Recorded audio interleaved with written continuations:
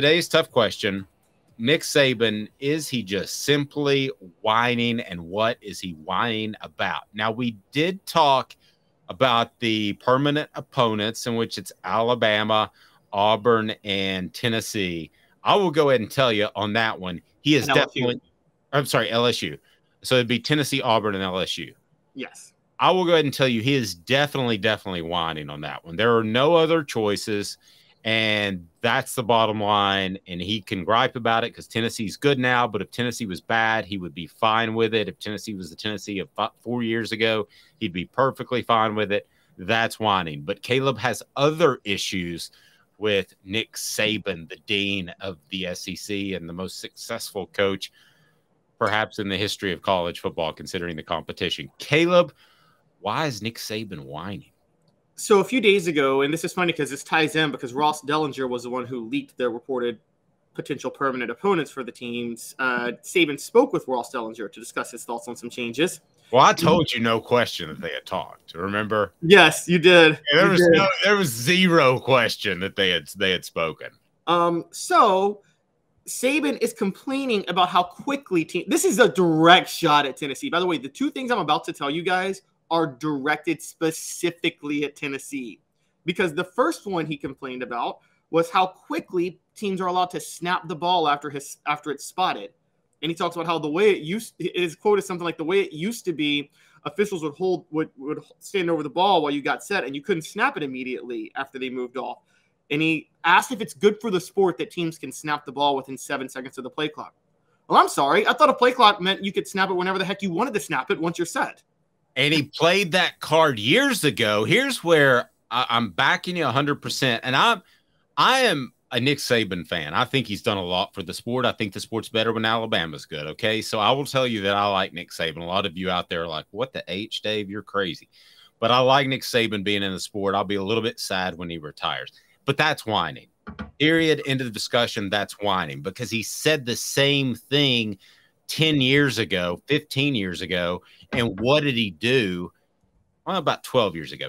What did he do? He went out and hired Lane Kiffin to install just that type of offense. It's exactly what he did a high up tempo offense. And now he's getting away from it because he sees Kirby Smart winning in the old physical route.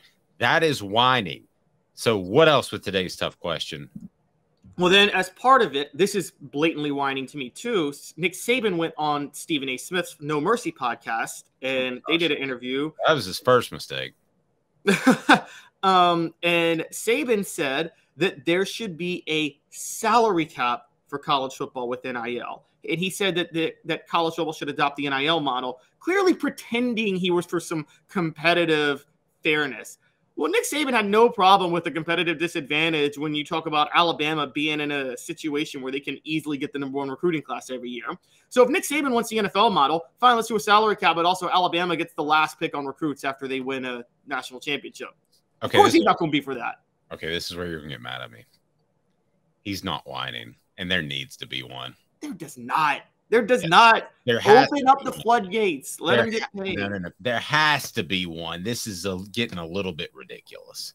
If if uh, I'm just telling you, if Nico Oh, sorry. If Nico, I got something special for you. I've been waiting to do this. If Nico,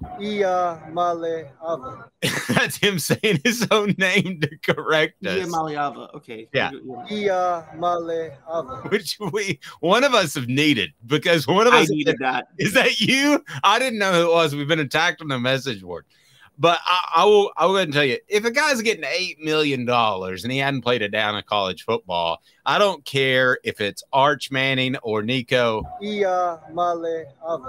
and he does indeed, there needs to be a salary cap. No, they're now. Well, let me let me make your argument before you even make it yourself. What's going to happen is people are going to go over, let's say it's 20 million. They're going to go over the salary cap, and then the NCAA is going to blow the enforcement of it. So we're going to be right back in the same boat that we were with people getting money in Chick fil A bags or McDonald's bags. So, and not talking about Tennessee, but college football as a whole. So, Caleb, there needs to be some sort of spending to keep it equal because even. No, Let me argue why. Let me argue why. Because you know I'm a mega conference guy. I'm 32 to 38 teams. Let's do this. Let's separate. Let's go. Let's I'm down. But here's the thing that you have to remember. Some of those teams that are going to be in the bottom end of that 38 are not going to be able to compete either. How many teams do you think can pay whatever a kid asks? What, a dozen? Yeah, that's irrelevant. That was the point Nick Saban was trying to make. The point I'm trying to make is with or without NIL, there are programs that have inherent advantages that will be able to compete and others won't. You think NIL is going to keep Vanderbilt from being able to compete in football? No, they're just going to be garbage with or without NIL money.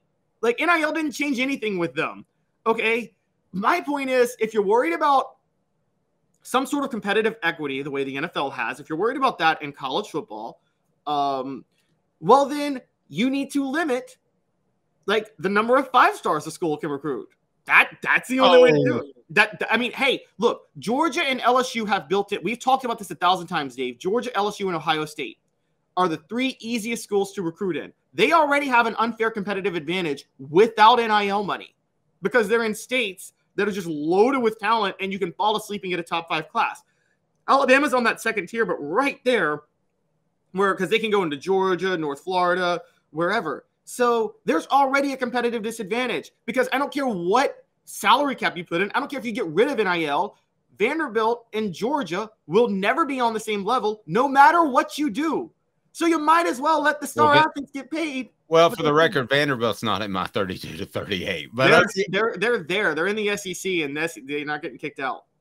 Not if you go if you go mega conference, you you could make the split. I know you can't kick them out of the SEC, but if you go mega conference, you could.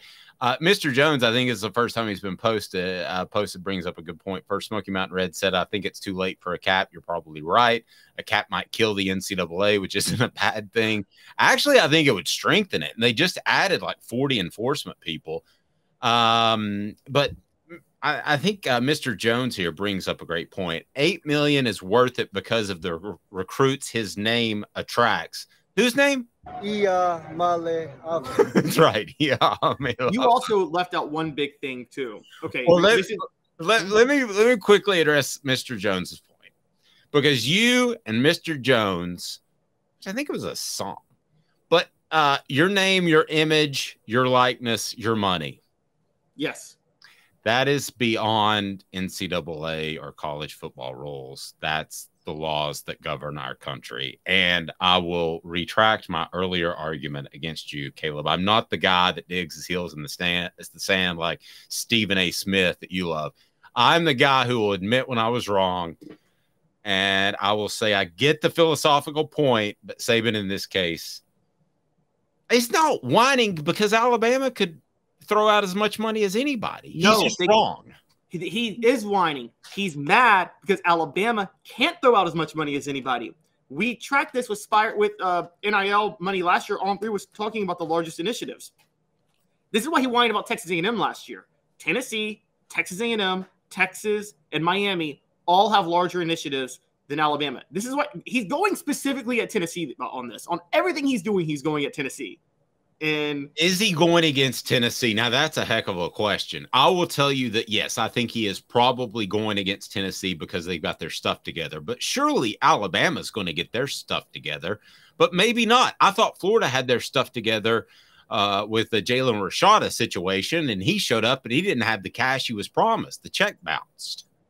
Yes, and that's where you could you could point out that my argument on the NIL initiatives may be BS because Florida was technically in that top five, but as we found out, they threw that initiative together in a month um, using a former baseball player to try to do it, and it it was embarrassing. But Nick Saban, I think, with the quote last week against Alabama, against Auburn, LSU, and Tennessee as his opponents, the complaint about the tempo and the complaint about NIL he has been targeting and he's very concerned about Tennessee. I think that I think that is a clear as most clear as day thing you could say.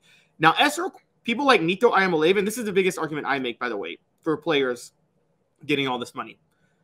Nico Iamaleava, oh, he got eight million dollars and he hasn't played a snap of football and hasn't proven himself. Okay, Jimbo Fisher is getting on, sitting on a twelve million dollar contract right now, and he hasn't done anything with that money for Texas A&M. He hasn't proven anything yet. So if coaches can get overpaid like this, this was always the argument people made back in the day, which is if coaches can get these gigantic salaries, it's fair to say players can. And for Nick Saban, oh, he also said something like, "We're losing what college football is about." Okay, Nick, well, why don't you like coach for less than a million dollars like coaches used to then? If we're losing what college football was about, because there was a time where coaches made in the hundreds of thousands. Am I right, Dave? Oh, I can remember coaches couldn't even get two-year contracts at like one hundred twenty-five thousand dollars a year.